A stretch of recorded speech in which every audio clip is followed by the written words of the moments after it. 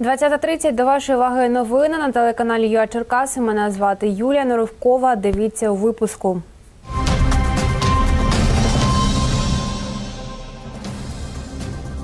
Замість квітів збирали гроші для онкохворої дитини, школярі Черкаського фізико-математичного ліцею. Перше це підтримка, е, друге це може статися з будь-з ким, і кожен е, має право на е, здорове життя, і тому ми всі маємо допомагати одне одному. Археологічні дослідження пустот розпочалися у Суботові Вілінській церкві. Як на мене, це е, чітко контур труни. На власному подвір'ї відкопав церковні стародруки черкасець Тимофій Назаренко. Ну, саме отут ми коли розгрібали, то знайшли той ящик. Благодійність замість квітів. Сьогодні школярі Черкаського фізико-математичного ліцею не вітали вчителів квітами та подарунками, а збирали гроші для онкохворої дитини. Зібрану суму передали особисто батькам. Скільки віддали на благодійність, знає Тетяна Недбайло. О 8.30 учні ліцею вишиковуються на святкову лінійку. Опісля прямують до класів на свій перший урок у новому навчальному році. Хто бажає, замість квітів підійшли до нашої скриньки, кинули туди Сьогодні учні збирали гроші на лікування онкохворого хлопчика, розповідає школярка Юлія Гавришева. Я вирішила прийняти участь в цій акції. Я вважаю, що перше це підтримка, е, друге це може статися з будь-з ким, і кожен е, має право на е, здорове життя, і тому ми всі маємо допомагати одне одному. Кожного дня хтось хворіє, у комусь необхідна термінова операція, тому це потрібно проводити кожного року. Людина не винувата і вона е, не вибирала свій шлях, і це може статися ну, з будь-ким. Ми повинні розуміти, допомагати, е, і тобі завжди будуть тоді допомагати, і в тебе в житті буде ну, легше жити. Учитель Віктор Шульга каже, подібні ініціативи навчають дітей бути чуйними одне до одного. Вчителі ліцею також брали участь в цій акції, не лише тому, що вони кажуть, погодилися замість квітів зробити цю акцію. Ну, я був приємно вражений, тому що, як кажуть, вже доріс до того віку, коли набагато приємніше комусь щось дарувати, аніж отримувати. А якщо є така можливість, е, бодай не зцілення, а хоч полегшення дітям подарувати, квіти зав'януть, а життя можливо і розквітне. Володимир Казмін на 1 вересня привів свого онука. Чоловік також вирішив віддати кошти на благодійність. Не можна ж жити в суспільстві і бути поза суспільством. А оскільки дуже багато людей потребують допомоги, то чим можемо, тим допомагаємо. У фізико-математичному ліцеї навчаються 360 дітей. Педагогам та учням вдалося спільними зусиллями зібрати 16 тисяч 600 гривень. Цю суму передали мамі п'ятирічного хлопчика Олексія Лобаса. Він зараз перебуває на лікуванні в онкодиспансері. Тримайте це вам. Дуже вдячна, дякую. Я дуже вдячна, що так люди сприймають це, що не викидують гроші просто, а допомагають таким діткам, як наші. Е, Зараз нас обстежують, тому що точно діагноза нам не можуть встановити або Т-клітинна лімфома, або у нас лейкоз. Тетяна Недбайло, Сергій Єфімов. Новини на Суспільному. Черкаси. Руханки, квести та фотозони замість традиційної лінійки. Так відсвяткували День знань у Черкаському навчальному реабілітаційному центрі Країна добра. Там навчаються діти з порушенням слуху та мовлення. Зі слів заступниці директорки закладу Оксани Котик, традицію так проводити свято знань для вихованців закладу започаткували торік. Як розважали дітей цьогоріч, бачила Ольга Гуржій.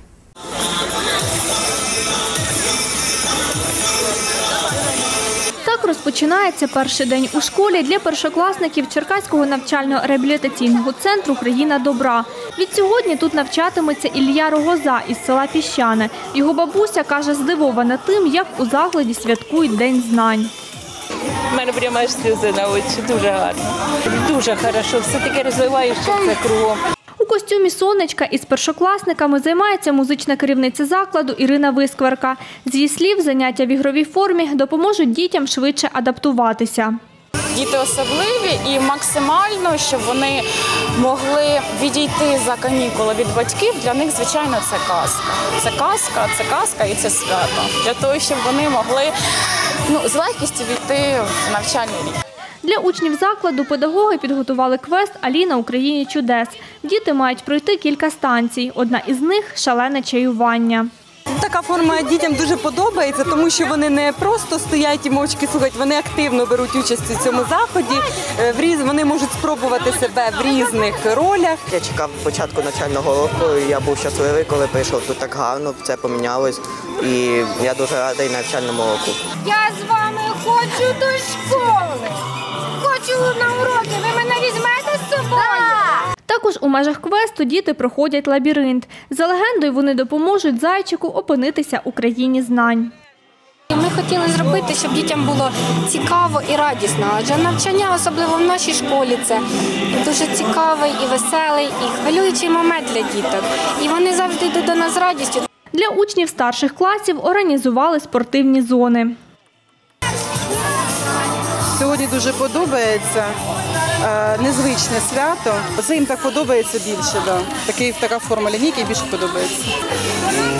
Треба вчитися, каже, продовжується вчитися треба. Дякую. Вистояти 30 хвилин або навіть 20 просто під сонцем це дуже важко і дітям, і батькам, і вчителям. А так всі вільно собі ходять, спілкуються, фотографуються, відпочивають, насолоджуються спілкуванням тим, що вони прийшли на 1 вересня. Ну, як на мене, це дуже чудово. Цього навчального року, зі слів заступниці директорки закладу Оксани Котик, Україні добра навчатимуться 100 вихованців, шестеро з яких першокласники.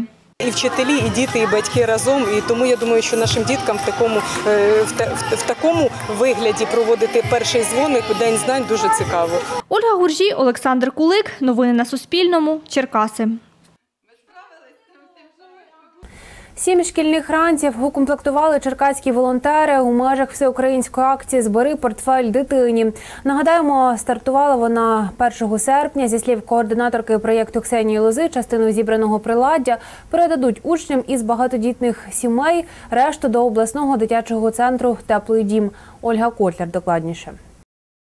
Покладемо сюди е, портфеліки, а сюди окремо будемо складати канцелярію. Зошит до зошита, олівець до олівця. Спочатку волонтери сортують зібране шкільне приладдя, далі формують окремі комплекти. Ми допомагаємо іншим людям, але насамперед це потрібно для нас, для кожного з нас. Бо хто вже віддавав, хто допомагав, то вони відчувають, як воно приємно до душі стає. Волонтерка Віола Скорикова одна із тих, хто долучилася до акції. Сьогодні вона принесла торбинки для спортивної форми, зошити і набори кольорових олівців. Треба допомагати тим дітям, у котрих немає, котрим батьки купити не можуть. Це дуже е, скрутно, але треба їм допомагати, щоб потім це не стало наслідком в школі на навчання. Е, Такі моменти, як булінг, в тебе є, в мене ой, в мене є, в тебе немає. Давай тебе давить. Зі слів координаторки акції Ксенії Лози, у Черкасах такий доброчинний проект організовують вдруге. Торік в Україні завдяки волонтерам з різних міст вдалося зібрати до школи 436 дітей. Всього е, зошитів було десь 128, 12 о- альбомів, е, дуже багато ручок, 12 пеналів. Я думаю, що ми ще нам перекинули, наші волонтери саме перекинули гроші на, цей, на цю акцію, то я думаю, що ми зробимо 12 повноцінних наборів і за ті гроші пр- просто докупимо те, чого не вистачає. Жінка додає, частину комплектів надішлють багатодітним родинам поштою. Ще половину відвезуть завтра до обласного дитячого центру Теплий дім.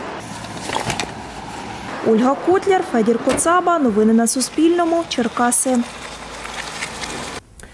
У Суботові в Вілінській церкві розпочалися археологічні дослідження пустот, які зафіксував геосканер восенину минулого року. Зі слів завідувача кафедри реставрації Львівської політехніки Миколи Бевза, вони можуть вказувати на ймовірне поховання Богдана Хмельницького. Дозвіл на проведення археологічних робіт надало Міністерство культури 27 серпня. Нині там проводять точні виміри місцезнаходження об'єкту. Тетяна Рева розкаже більше. За однією із легенд прах Богдана Хмельницького похований саме тут, в Суботівській Іллінській церкві. Вона ж збудована в кінці 17 століття як родинна церква-усипальниця Хмельницьких. Нині тут проводять дослідження. Це показує, що це і спадкоємно з цим, що це було очевидно деструктований верх, але основа ще лишалася. Основа та сама. Це Микола Бевс, завідувач кафедри реставрації Львівської політехніки. Його залучили до робочої групи, аби дослідити архітектуру церкви та пустоти всередині стін та підлоги, які зафіксував геосканер восени минулого року. Це невеликі дослідження для перевірки окремих е, аномалій, так, які виступають в самій будівлі. Від, від е, перевірки е, будівельних особливостей, тому що тут є зміщення окремих деталей. Ну, Тут використовується найсучасніша апаратура. Частково вона є з Львівської політехніки, частково з е, київських інституцій. І цією технікою ми вивчаємо об'єкт. Прилад зафіксував пустоти у стінах та підлозі на глибині 6 метрів, що може свідчити про ймовірне поховання Богдана Хмельницького, розповідає благочинний Чигиринського району протоієрей Володимир Гладковський. Результати того сканування якраз до чого хо- хочуть зараз, шукають, як туди добратися, що мав би бути туди якийсь спуск. Тобто видно оцих дві точки. Наприклад, як на мене, ну я не можу, як на мене, це е, чітко контур труни. Аби побачити, чи є на місці зафіксоване геосканером поховання, дослідники планують зробити отвір у підлозі та запустити всередину інспекційну камеру. Для цього, каже Микола Бевс, необхідно зробити точні заміри. Етапи підготовчі, коли е, всі аргументи від вивчення іконографічних матеріалів чи інших відбуваються, це займає більше часу, ніж сам процес свердління і перевірки камерою. Але свердління мусить відбутися точно там, де вже ти визначив попередньо всіма засобами, що є аномалія. Зробити отвір дослідники спробували на одній зі стін храму. Був зроблений сюди е, і виявлено отвір да, на глибину е, метр.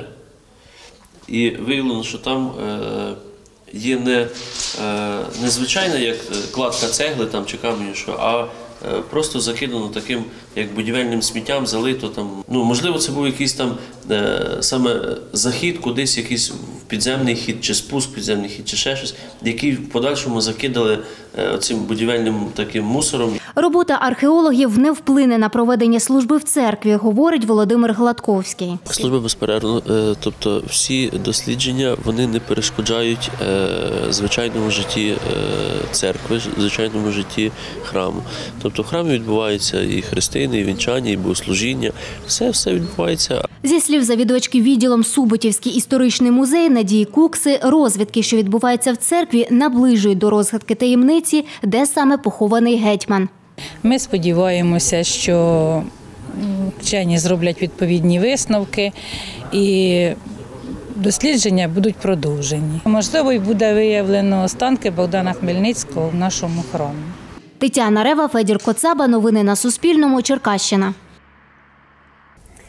Черкасець Тимофій Назаренко на власному подвір'ї відкопав церковні стародруки. Знахідці, за словами Тетяни Григоренко, заступниці директора з наукової роботи обласного краєзнавчого музею, може бути чотири століття. Історію знахідки розкаже Тетяна Рева. Ось ці стародруки, закопані в землі та перекидані сміттям, знайшов черкасець Тимофій Назаренко на власному подвір'ї, коли наводив тут лад. Ну, саме отут ми, коли розгрібали, то знайшли той ящик. Наткнулися лопатою на якийсь твердий незрозумілий предмет. Потім проволочкою, як ото в кіно показують, його проштрикали, поняли, що він має певний об'єм, ну а потім вже витягли його на, наружу. У коробці, каже Тимофій, побачив чотири старовинні книги. Оказалася дерев'яна коробка, яка була обмотана ну, таким нібито солдатською шинелью і перев'язана ну, тусками. Знахідку чоловік відніс до краєзнавчого музею. Там, після поверхневого огляду, наукові працівники визначили, що книги церковні стародруки ймовірно кінця 17 століття, розповідає заступниця директора з наукової роботи Тетяна Григоренко.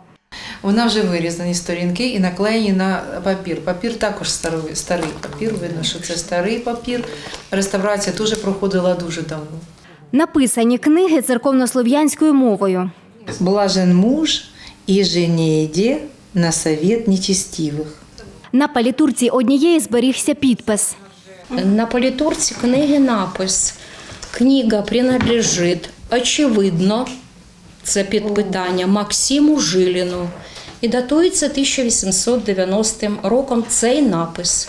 Деякі з них у шкіряній палітурці, інші у обкладинці з фанери, обтягнутої тканиною. Найцікавішою, розповідає Тетяна Григоренко, є історія того, як і чому книги пролежали в землі майже чотири століття. Як вони туди потрапили, ніхто не може зрозуміти і ніхто не знатиме, звичайно, тому що ніяких тут слідів немає. Можливо, на початку ХХ століття, коли була там боротьба з церквами, атеїст, там були ці воїнствуючі атеїсти, які руйнували церкви, і потрапили вони туди, туди. Хтось приховав ці книги.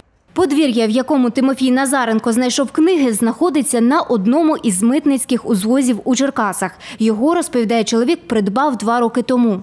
Попереднім власником була е, єврейська родина. Тобто тут багато цих будівель е, належали саме цій родині. І цей будинок був побудований е, дідом Ісаком для своєї онуки Ліда Ісаковна, забув фамілію, Риндіна. От, і вона дуже багато років тут прожила. От, можливо, це їй належали ці книги. Тетяна Григоренко каже, книги необхідно досліджувати. Вони можливо підлягають реставрації. У нас, мабуть, таких реставраторів немає, тому що це книги, це специфічна реставрація. Ось е, я думаю, вони викличуть інтерес такий е, великий у фахівців, і можливо до нас хтось прийде. Звичайно, ми будемо дуже раді, якщо нам допоможуть їх. Вони будуть зберігатися в музеї. Книги дуже цінні, однозначно їх цінність е, ну, не перевершена. Тетяна Рева, Олег Кураш, Федір Коцаба. Новини на Суспільному. Черкаси. На цьому це вся інформація. Дякуємо за увагу і гарного вам вечора. Наступний випуск новин в ефірі. Дивіться вже завтра о 7.30.